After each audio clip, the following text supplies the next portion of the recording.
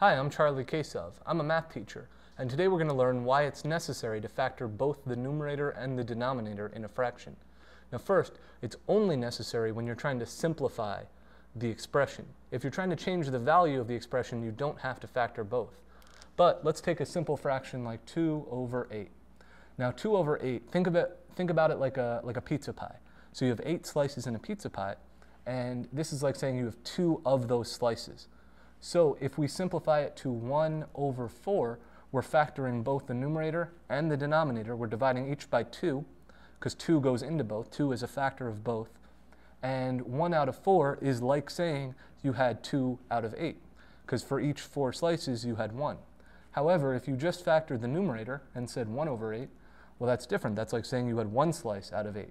Or if you just factor the denominator, like 2 over 4, well, that's different. That's like saying you had two slices out of four or four slices out of eight. So you have to factor both the numerator and the denominator if you're trying to stay with the same value. Um, I'm Charlie Kasov, and you just learned why it's necessary to factor both the numerator and the denominator. Thanks.